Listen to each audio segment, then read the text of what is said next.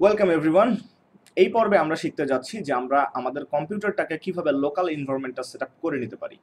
Already previous ভিডিওতে আমরা দেখেছি আমরা কি কোর্স মানে কি কোড এডিটর আমরা ব্যবহার করতে যাচ্ছি। এবার আমরা দেখব যে আমাদের কম্পিউটারটাকে একটা সার্ভার সেট করার জন্য বা একটা লোকাল ডেভেলপমেন্ট আমরা কীভাবে রেডি করে নিতে পারি। তো বেসিক্যালি আমরা দুইটা ওয়েতে কাজ করতে পারি, একটা হচ্ছে অনলাইন সার্ভারে এবং আরেকটা হচ্ছে অফলাইন সার্ভার তো অফলাইন সার্ভার বলতে আমরা আমাদের কম্পিউটার বা আমাদের ডেস্কটপ বা আমাদের ল্যাপটপকে বুঝে থাকি। বেসিক্যালি একটা প্রজেক্ট কমপ্লিট করার পর সেটাকে কিন্তু আমরা লাইভ সার্ভারে হোস্ট করি। বাট লাইভ সার্ভারে একটা কোড করা এবং সেই কোডটাকে এডিট করে বারবার রান করে দেখা, এটা কিন্তু একটু সময় সাপেক্ষ ব্যাপার এবং একটু ক্রিটিক্যাল কারণ লাইভ সার্ভারের কোড এডিটর যেটা আমরা দেখি, সেটা আসলে ওই সিম্পল দুইটা একটা লাইন কোড এডিট করার জন্য যথেষ্ট বাট একটা কমপ্লিট প্রজেক্ট রান করার জন্য কিন্তু যথেষ্ট না। এই জন্য আমাদের লোকাল ডেভেলপমেন্টই আমরা বেসিক্যালি আমাদের পুরা প্রজেক্ট কিংবা আমাদের পুরো কোর্স টপিকগুলো আমরা কাভার করব। আফটার দ্যাট যখন আমাদের প্রজেক্ট পর্বটা আসবে এবং আমরা প্রজেক্টটা কমপ্লিট করব, সেটাকে আমরা লাইভ সার্ভারে কীভাবে হোস্ট করতে পারি সেটাও আমি আপনাদেরকে দেখাবো। বাট এই পর্বে আমরা শিখতে যাচ্ছি about our local development server so local development server হিসেবে আমরা ওয়াম্প ম্যাম্প কিংবা জ্যাম্প নামের কিছু সফটওয়্যার ব্যবহার করতে পারি। যেমন ওয়াম্প হচ্ছে একটা সফটওয়্যার আমি জাস্ট ওয়াম্প লিখে সার্চ করে দেখতে পাচ্ছি। This is a software but আমি সাজেস্ট করব আপনাদেরকে জ্যাম্প সফটওয়্যারটা ব্যবহার করার জন্য। সো জ্যাম্প সফটওয়্যারটাকে ডাউনলোড করার জন্য আপনাদেরকে X A MPP that means XAMPP লিখে আপনাদেরকে গুগলে সার্চ করতে হবে। After that you can get the link the first link এইখানে আমরা যেটা করতে পারব, আমরা জ্যাম্প সফটওয়্যারটাকে ডাউনলোড করতে পারব। আপনি উইন্ডোজ ম্যাক কিংবা লিনাক্স যে কোনো ইউজার হয়ে থাকলে আপনি যে কোনো ডিভাইসের জন্য আপনি এখান থেকে সফটওয়্যারটাকে ডাউনলোড করতে পারবেন। এখানে এক্স অর্থ হচ্ছে ক্রস প্ল্যাটফর্ম ক্রস প্ল্যাটফর্ম মানে আপনি উইন্ডোজ লিনাক্স এবং ওএস এর জন্য আপনি ওয়েস প্ল্যাটফর্মের জন্য আপনি এই সফটওয়্যারটাকে ডাউনলোড করে ইউজ করতে পারবেন। জ্যাম্প সফটওয়্যারটা আমাদের কেন দরকার? কারণ আমরা ফ্রন্ট এন্ড যেমন ফ্রন্ট এন্ডের জন্য আমি আপনাদেরকে একটা ওয়েবসাইট দেখাচ্ছি।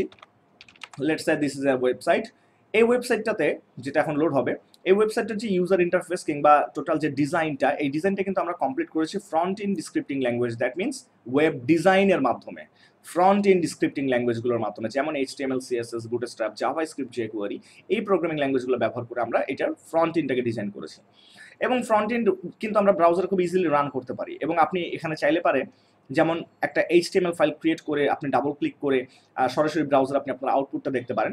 পিএইচপির কোড কিন্তু server side scripting language that means এটা আমাদের ব্যাক ইন্ড ওয়েব ডেভেলপমেন্টের পার্ট এবং পিএইচপি কিন্তু একা একা রান করতে পারে না, তার জন্য তার একটা সফটওয়্যার দরকার হয়ে থাকে।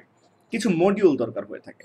যেমন অ্যাপাচি মাইএসকিউএল এই অ্যাপাচি এবং মাইএসকিউএল দুইটা হচ্ছে দুটা পপুলার মডিউল যে দুইটা মেইনলি আমাদের পিএইচপি প্রোগ্রামিং ল্যাঙ্গুয়েজটাকে রান করতে সাহায্য করে।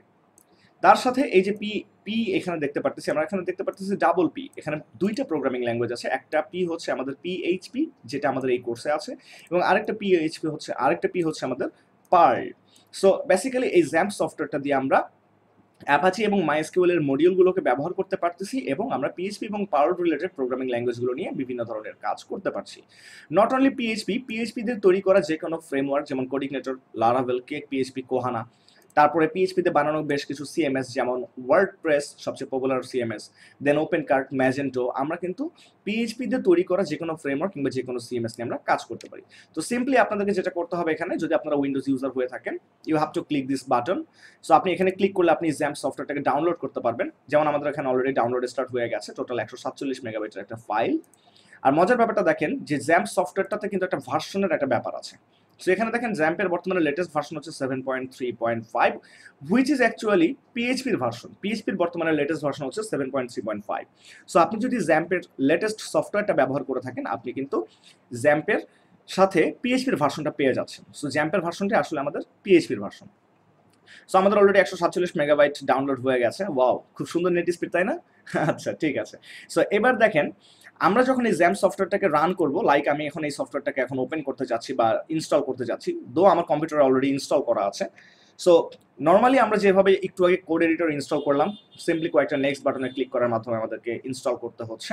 সেমভাবে যখন আপনারা জ্যাম সফটওয়্যারটাকে ইনস্টল করবেন, তখনও আপনারা দেখবেন যে আমাদের সি ড্রাইভে আমাদের কম্পিউটারের সি ড্রাইভে আপনি যে ড্রাইভটা চুজ করে দেবেন, সেই ড্রাইভেই রুট ডিরেক্টরিতেই আপনাদের জ্যাম্প বলতে একটা সফটওয়্যারের একটা ফোল্ডার ক্রিয়েট হয়ে যাবে। সো এই ফোল্ডারটার ভিতরে ঢুকলে আপনি lots of files and folders দেখতে চাচ্ছেন বা দেখতে পাচ্ছেন। সো আপনি চাইলেই কিন্তু এই ফাইলস অ্যান্ড ফোল্ডার্সগুলোকে ডিলিট করতে পারবেন না। Because of this all are the prebuild configuration files of this local server আর এইখানে আমরা এইচডি ডক্স নামে একটা ফোল্ডার পাচ্ছি। আপনারা যদি কেউ কখনো লাইভ সার্ভারের কাজ করে থাকেন, কোনো প্রজেক্ট হোস্ট করে থাকেন সেটা ফ্রন্ট এন্ডের হতে পারে ওয়ার্ড প্রেসের হতে পারে। আপনাদের অবশ্যই মনে আছে যে পাবলিক আন্ডার আন্ডারস্কোর এইচটিএমএল বলতে আমাদের একটা রুট ডিরেক্টরি থাকে এবং আমাদের এই লোকাল ডেভেলপমেন্ট সার্ভারে এইচটি ডক্সটাই হচ্ছে আমাদের রুট ডিরেক্টরি যেখানে আমরা বিভিন্ন ফোল্ডার ক্রিয়েট করে করে আমরা কাজ করতে পারি। ফর অন এক্সাম্পল আপনাদেরকে একটু দেখাতে চাচ্ছি আমি যে আমরা যখন এখানে একটা নিউ ফোল্ডার ক্রিয়েট করলাম লেটস আমি ফোল্ডারটার নাম দিলাম ফয়সাল হ্যাঁ? সো এই যে ফয়সাল নামে যে ফোল্ডারটা আমরা এখানে ক্রিয়েট করলাম, এর ভিতরে আমি চাচ্ছি একটা ইন্ডেক্স ডট এইচটিএমএল একটা ফাইল ক্রিয়েট করতে। সো দেখেন, আমি যখন এখানে ইন্ডেক্স ডট এইচটিএমএল একটা ফাইল ক্রিয়েট করব সো তখন আমি কিন্তু চাইলে সরাসরি এখন এই কোডটাকে আমি সাবলাইম টেক্সট ওপেন করতে পারি। কীভাবে ওপেন করতে পারি? দেখেন, আমরা সাবলাইম আমাদের যে কোড এডিটরটা আমরা ইউজ করতে যাচ্ছি এই প্রজেক্টে সেখানে আমরা প্রজেক্টে যে অ্যাড ফোল্ডার টু প্রজেক্ট করে আমাদের যে জ্যাম্প সফটওয়্যারটা আছে, সেখান থেকে আমাদের রুট ডিরেক্টরি এবং আমরা যে ফোল্ডারটা ক্রিয়েট করলাম, সেটাকে জাস্ট সিলেক্ট করে দিলেই আমরা আমাদের ইন্ডেক্স ডট ফাইলটা দেখতে পাচ্ছি। নাও যদি আমরা এখানে খুব কুইকলি একটা স্ট্রাকচার তৈরি করে ফেলি লেটস এ ওয়েবসাইট দেন আমি ছোটখাটো দুটো কাজ করছি, যেমন এখানে আমাদের দুটা প্রি বিল্ড ট্যাগ আছে।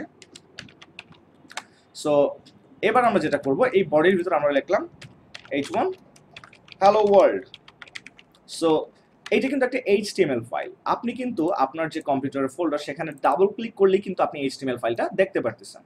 বাট হোয়াট ইফ যদি এটা একটা পিএইচপি ফাইল হতো, সেটা কিন্তু আমরা দেখতে পারতাম না।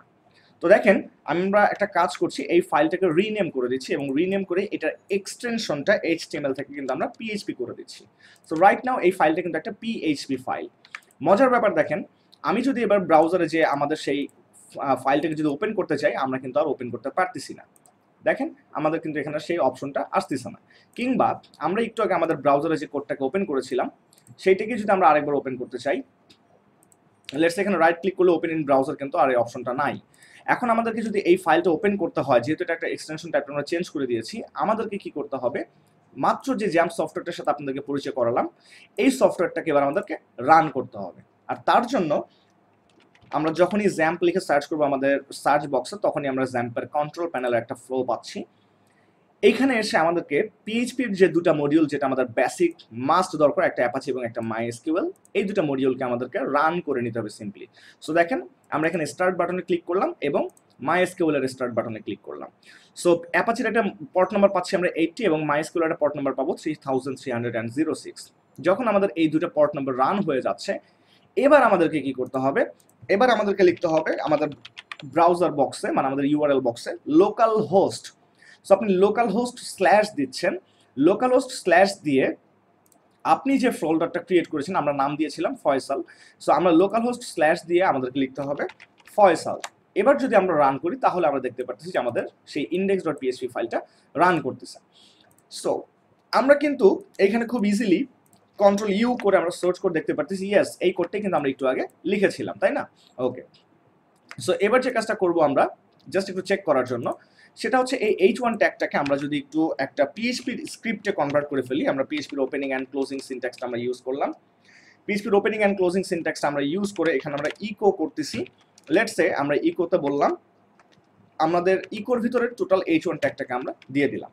সো এই যে ইকোর ভিতরে আমরা টোটাল এইচ ওয়ান ট্যাগটাকে দিয়ে দিয়েছি, এবার যদি আমরা আমাদের কম্পিউটারে এটাকে রান করি, আমরা দেখতে পারতেছি এই কোডটা আমরা যখন রান করব, দেখেন, আপনি কিন্তু এখানে দেখতে পারতেছেন যে আপনার এখানে এইচ ওয়ান ট্যাগ দেখাচ্ছে।